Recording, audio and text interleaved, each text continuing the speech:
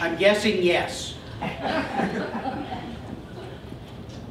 All right, so uh, family affair. We have talked about uh, the first relation, interpersonal relationship that God established with husbands and wives. We've talked about parents and children and, excuse me, how that works both ways, just like husband and wife works both ways. Um, we're moving on to uh, one that is very dear to my heart, grandparents, because this grandpa thing is awesome. Uh, I've got a little thing that I want to read to you. This was written by uh, an eight-year-old. Um, the title is Grandmothers. Okay? So, a grandmother is a lady who has no children of her own. So she likes other people's little girls. A, a grandfather is a man grandmother. He goes, walks with the boys, and they talk about fishing, tractors, and like that. Grandmothers don't have to do anything except be there. They're old, so they shouldn't play hard or run. it is enough if they drive us to the shops where the pretend horse is and have lots of five cent candy ready. They are often fat but not too fat to tie little kids' shoes. They wear funny glasses and funny underwear, and they can take their teeth and gums off. Everyone should try to have one, because grandmothers are the only grown-ups who have got time.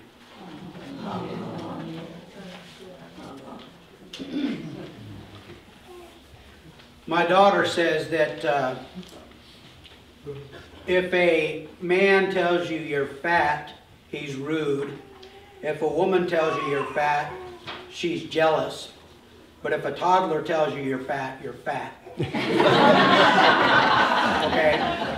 So, um, I don't know at what age um, inhibitions are, are tempered, but none of my grandchildren have reached that age yet.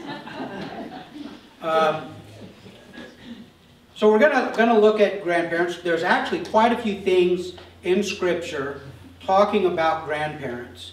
Um, now we talked a couple weeks back about uh, children's responsibilities to their parents.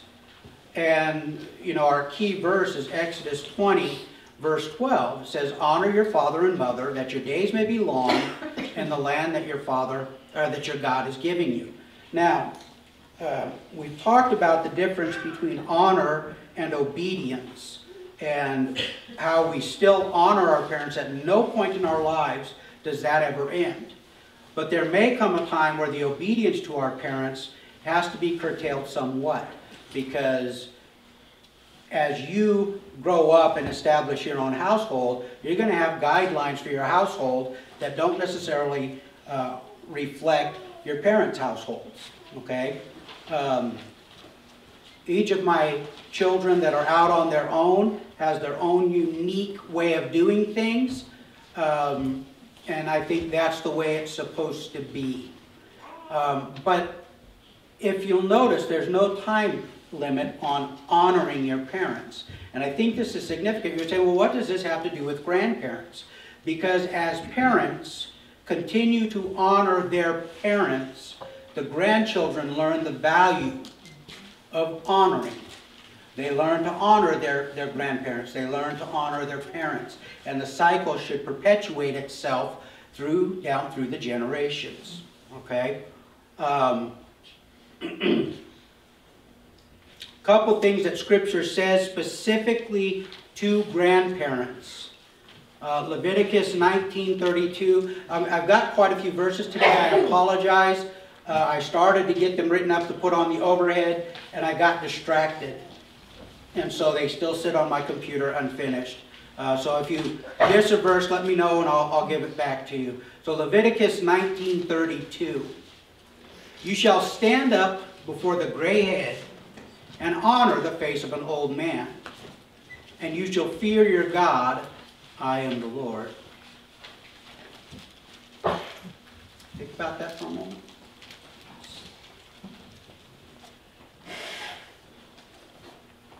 God says it's honoring to stand up to acknowledge, the elderly. Now, our, our culture, we, we do things a lot different, but I think sometimes we need to go back to the simplicity of showing honor. Okay? Um, there's a number of things that, that I was taught growing up that um, this, this culture really doesn't reflect anymore. Um, I, I, need to check before I say this. Growing up, uh, we were not allowed to wear a house, uh, a hat indoors. Okay, you walked, as soon as you crossed the threshold, your hat came off to honor the people of the house. Um, that, that doesn't really happen anymore. Uh, most people, they, they, that uh, typically men, they wear their hat like it's sewed to their head and it just doesn't really ever come off. That's, that's a tradition, that's, that's something that I learned. Um, now, uh, as a father, I could insist that my children would honor that rule in my household, but I can't insist that they honor that rule in their household. Okay? Um, that's something that is unique. But God says here, to honor the elderly, we should stand. You, you, you stand up to acknowledge them. Okay? Um, grandchildren are to be a blessing to their grandparents. Proverbs 17, verse 6. Proverbs 17, verse 6.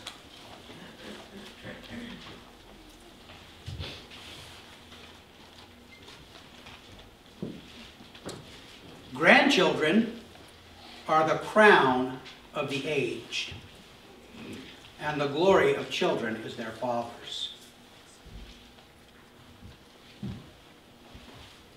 I think when uh, Solomon was writing this, he kind of had in mind that, uh, you know, if you survive long enough to become a grandparent, um, the fact that you have grandchildren indicates you did something right.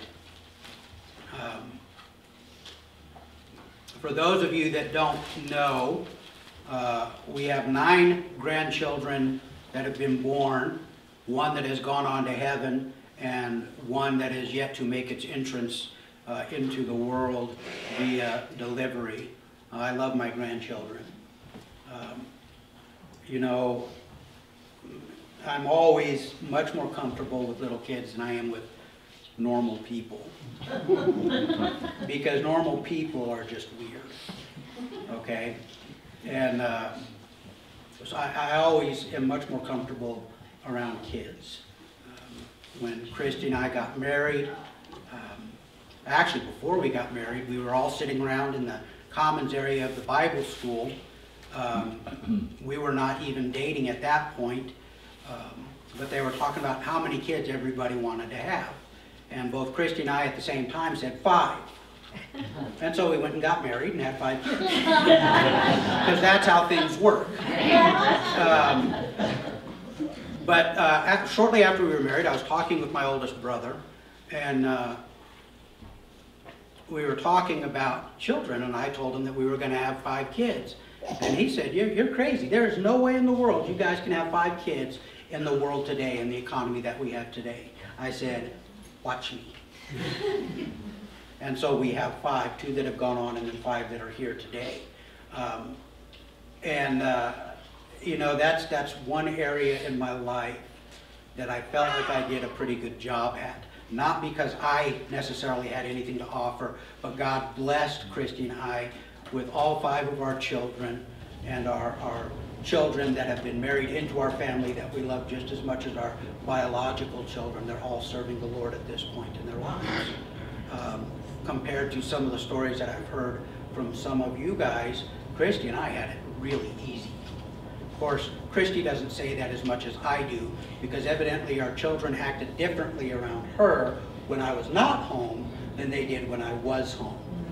Uh, you know, Christopher, our oldest, uh, has a, a pretty broad streak of choleric type A personality in him. And Christy used to tell me, "Yeah, it's, it, I, I cannot deal with him. I tell him to do this and he argues and, and I'm thinking, you're out of your ever-loving mind. I tell him to do it and he doesn't. Or he assigns one of his younger siblings to do it. Okay? Uh, well, one day, uh, at the time I was working several jobs and Christy and I were trading back and forth who was home at the time. And uh, my job that morning had been postponed. So I was in the bedroom getting dressed and I heard, hear Christy out in the other room telling Christopher, um, you need to fix cereal for Benjamin. Now, I'm going to rat out Benjamin here just a little bit. Um, I think Benjamin was about 15 before he realized that the spoon is supposed to go with the food on the top into your mouth so that it doesn't wash down the front of you. Because he would pick up his spoon and turn it over, and he had a perpetual milk stain. Where you're like 15, I think, finally stopped, something like that. Um, Anyway, Christopher was arguing with Christy about, no, today is not my day to fix Benjamin's breakfast. It's Donovan's day because I fixed his breakfast yesterday. And I can hear Christy getting frustrated, telling him, Christopher, I don't care. I want you to make Benjamin's breakfast. And I can hear them arguing as they're coming down the hall, and I'm standing in the bedroom, I'm just looking at the door. And Christy comes in the door with that look on her face, see what I gotta deal with? See this? Christopher walked in the door, and he's got this, you know, I'm explaining things to mom look, and all of a sudden he went, oh, Dad's home. And he turned around and walked out, and he went and made breakfast. And so Christopher and I had to have a sit down, and he had to come to the understanding that, yes, I am the head of the house, but when I am not present, that authority rests on your mom. Because one of his favorite things to do would be to tell her, that's not how dad said to do it. Okay? And so, um, you know, we have unique children. When Christopher was born and, and Christy was pregnant with Donovan, we're like, how in the world, you know, we're going to have two? And, and, and they, wow, they were, they were about as opposite as you could get. And then Christy got pregnant with Benjamin. And I thought, well, there's no room. I mean, we've got both sides of the coin. And we realized that it was not a coin, it was a polyhedron. And, and, and every one of our kids has a different face on that thing. So, um, but being a grandparent is an incredible, incredible blessing. Uh, I want to read something that I, I, as I was pondering this a while back. Uh, being a grandparent gives a parent another chance to be a godly influence in the lives of their grandchildren without the burden of being responsible for their messes. My reputation does not ride on my grandchildren. We go out in public and one of my grandchildren throws a fit, I just point to their dad. That's his kid. I don't know him. My grandchildren are all well behaved. when they're not well behaved, it's their children. Okay? Um, but I have seen, actually, I'm going to back up. I'm going to get to that in a minute because there's something that I really want to lay down before uh, people that are grandparents or are planning on being grandparents down the road. There's a couple other things that I want to share with you. So, uh, grandparents, um, grandchildren are their crown. Um,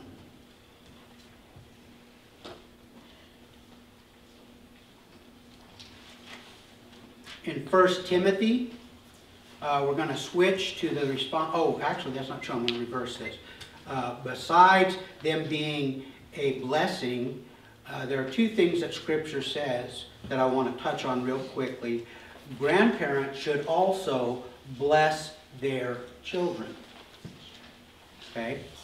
We see this in Genesis uh, 31, verse 55. Genesis 31, verse 55. Uh, this is the story of Laban and Jacob. Jacob has snuck away and he's taken his property and his family and he's bailed and Laban has chased him down. Uh, and then they have this confrontation. And uh, after they work everything through, the next morning Laban gets up and he's getting ready to leave. One of his complaints to Jacob was that he never even got to say goodbye to his kids, his grandkids. And so the next morning, they, they work this out. The next morning, uh, Laban's getting ready to go. And it says, early in the morning, Laban arose and kissed his grandchildren and his daughters and blessed them. Then Laban departed and returned home. He blessed them.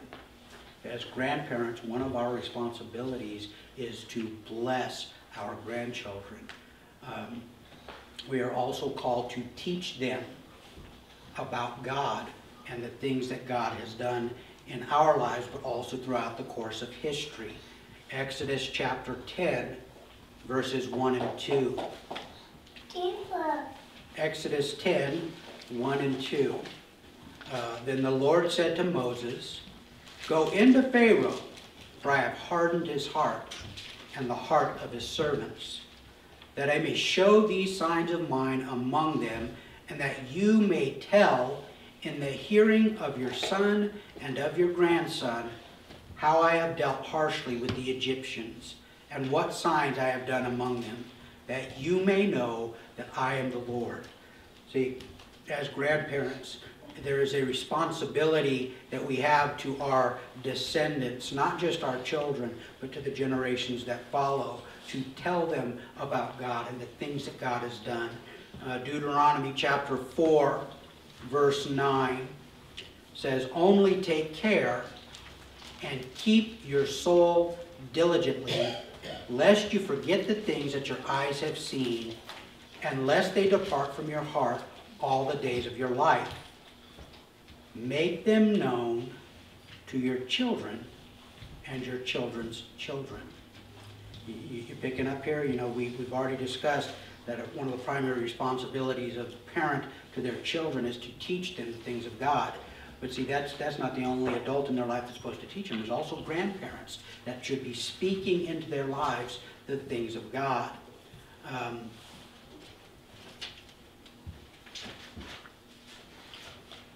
Backing up now, grandchildren, they also have responsibilities in this dynamic, how God establishes this thing.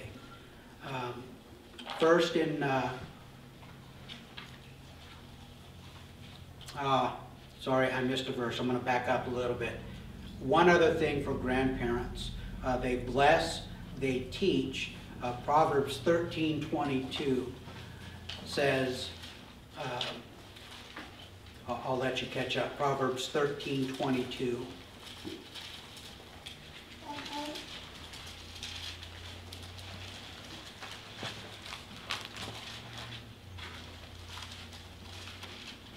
This is Solomon writing. Uh, this is uh, kind of at the height of his wisdom, uh, although, you know, he was already dabbling in what would later be his downfall, but um, this is at the height of his wisdom. He says, A good man leaves an inheritance to his children's children. Do you ever think about that? As a grandparent, you have a responsibility. Now, when you think inheritance, what's the first thing that comes into your mind? Money. I think it goes way beyond that. I think uh, we establish a legacy in our children and grandchildren. Uh, we share those things that God has brought through us, and we help establish it. Um, you know, my mom has already determined there are certain things that, that certain of her children get. Uh, my brother claims shoe, her bronzed shoes. You, you guys have no bronzed shoes? Does anybody know what I'm talking about? Yeah. Okay, your little baby shoes, and they take them and they dip them in bronze. And as far as I'm concerned, he can have them. They don't fit me. Um, okay, bronze shoes. You want her shoes? You can have her shoes. Uh, so mom's gone through and, and kind of made a list of who gets what. Um, I told my mom, actually I told years ago, uh, my mom and dad that the greatest blessing that they could give me was to make sure that when they passed on, there was no debt. Because then I would be responsible for my family's debt as well as their debt. Um, and other than that, the only thing I ever wanted was pictures. Okay? Um, so, a legacy and an inheritance to your grandchildren. Um, Now, backing up, grandchildren's responsibilities to their grandparents. First Timothy chapter 5.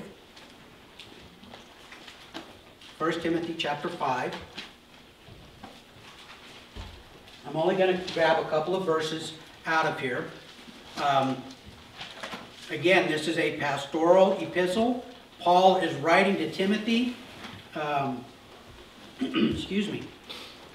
Um, he's kind of telling him what it means or what it looks like to serve as a pastor, as a minister, but he's also um, showing him things about how the church should be run. So in uh, 1 Timothy chapter 5, I'm only going to grab a couple verses. The first one, uh, actually I'll start at verse 1 and then I'll, I'll kind of skip around a little bit. Uh, Do not rebuke an older man, but encourage him as you would a father. Younger men as brothers. Older women as mothers. Younger women as sisters in all purity.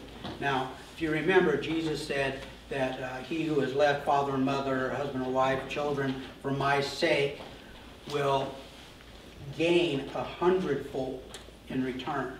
I think this is part of what that verse is talking about.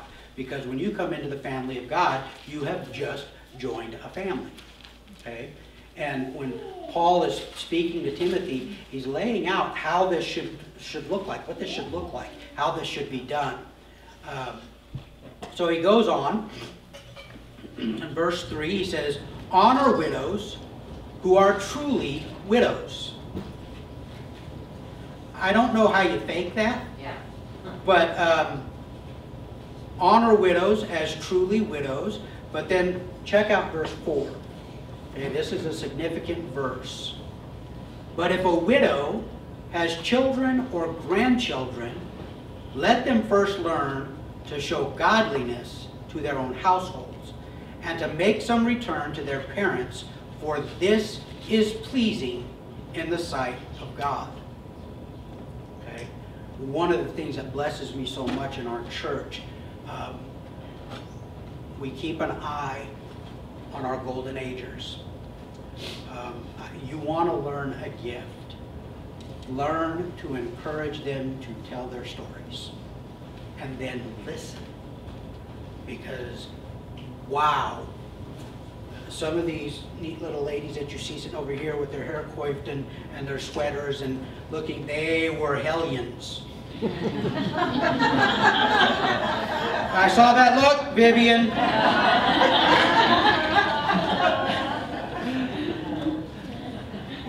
Seriously though, they have got stories to tell. They have wisdom and experience to share.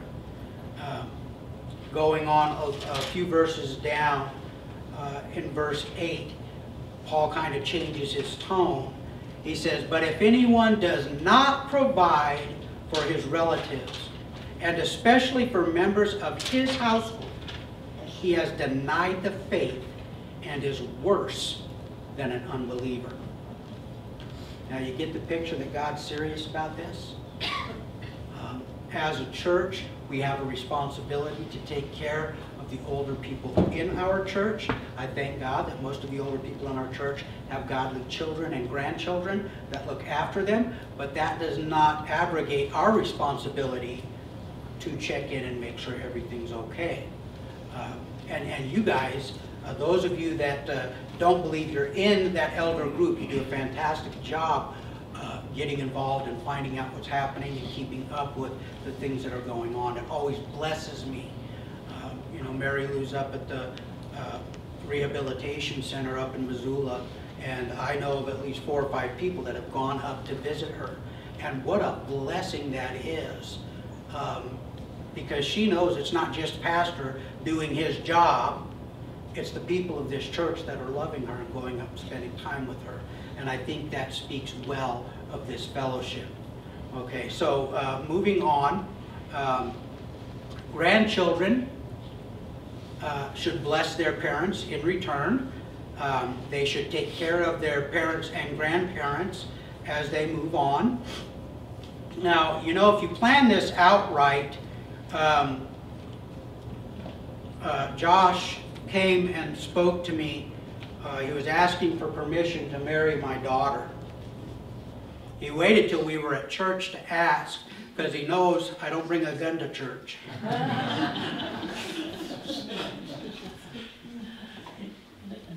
And I told him there were a couple rules, things that, that had to be in place before I would consent. Um, Actually, we, I'm gonna give you two conversations wrapped up into one, because the first conversation was when he came and asked permission to date my daughter. Um, So I told him there were some things that I expected of a man that would uh, consider marrying my daughter. uh, That he had to take care of her body, soul, and spirit. That he needed to be the priest of his family, the, um, the head of his family, leading, leading them in a godly manner. Um, We talked about that and talked about what that looks like and, and the things that I was expecting because, you know, she may be your wife, but she's always my daughter. And, um, you know, my boys can stand up for themselves, but don't you touch my daughter. Okay? I'll get all kinds of ugly. And so I told him there was one other condition, and I told this to Mackenzie from the time she was little. Um, Well, there were two things. One, she was- was not allowed to date till she was 36. So, so he had to wait till then to take her on a date. Um, And then the other thing was uh, that by the time he could take her on a date, he was a millionaire and was willing to fund my retirement. You guys are laughing. Josh knows I'm not kidding. Because I check, I- hey, how's the million dollars coming? Josh, you sure you have time to come and hang out? Shouldn't you be like making money and stuff? No, I don't harass him about that a lot, but uh, I do harass him some. So, um, grandparents. I have seen so many grandparents speak into the lives of their grandchildren. Kind of a, a sad thing, I've seen so many grandparents that actually have to parent their grandchildren because parents mm-hmm. just aren't.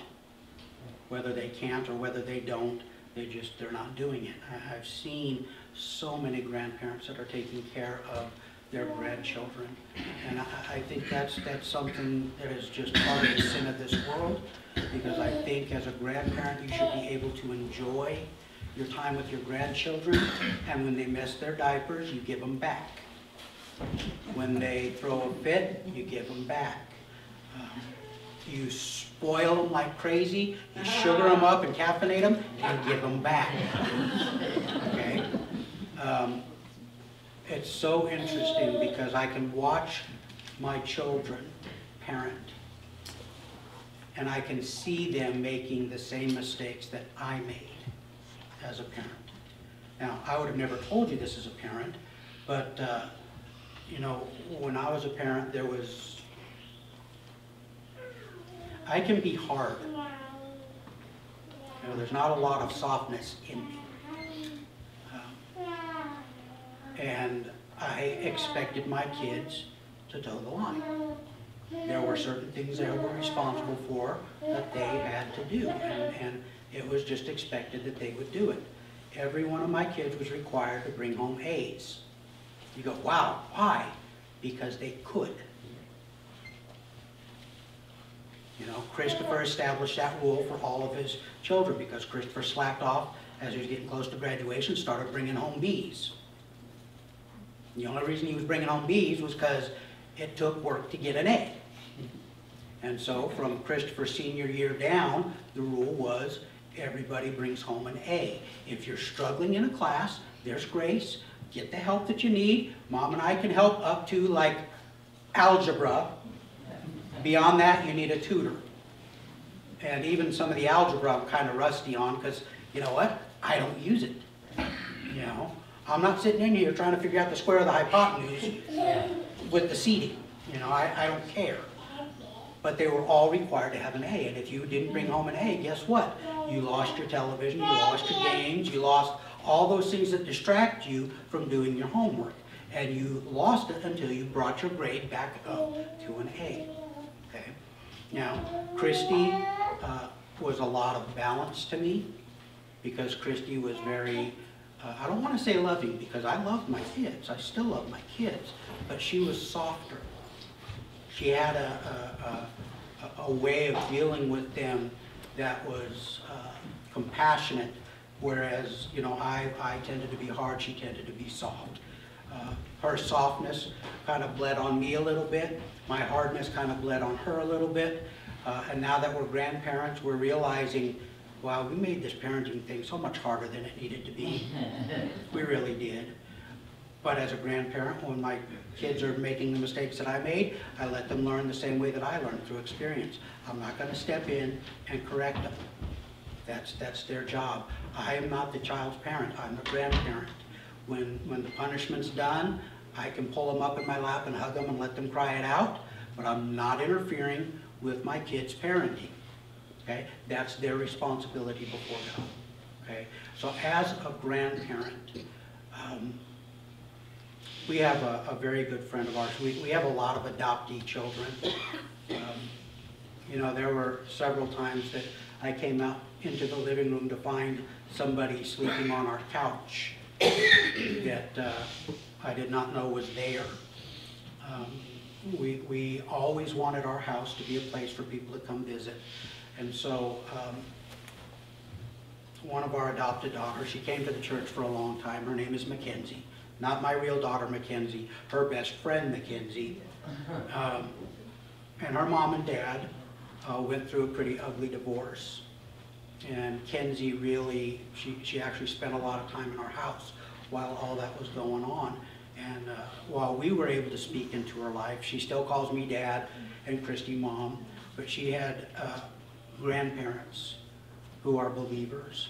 And uh, they spoke into her life and helped keep her stable in her faith while all this insanity and stupidity was taking place between her mother and her father. So, um, other grandparents that, that are speaking into the lives of their grandchildren, you have value. God wants to use you to speak into the lives of those children that He loves further than you can even comprehend. So as a grandparent, don't feel like you're wasted. Don't feel like you're, you're ineffective. You keep putting the seed out there because it will take root. Now, how it's going to grow, you're not responsible for. You're responsible for putting the seed out there. Okay? And enjoy your grandkids. Boy, you just had to ruin that, didn't you? That's his child. So I, I would encourage you on this note. If you are a grandparent, do the things that God has called you to. Do them as unto God. Be faithful. Speak into the lives of your grandchildren and, and in some cases great-grandchildren and in a couple of cases great-great-grandchildren. Um, speak into their lives. Lift them up in prayer. Don't be afraid to, to be with them. Um, if you are a grandchild and your grandparent parents are still alive, remember to bless them. Be a blessing to them. Remember that God expects you to take care of them. Okay? So grandparents, grandchildren, I love being a grandpa way more than being a dad. Being a dad was pretty cool. But you know, I don't have to care what my grandchildren's grades are. That's their, their parents' problem. That's not my problem. So uh, be blessed and be a blessing. Amen? Amen.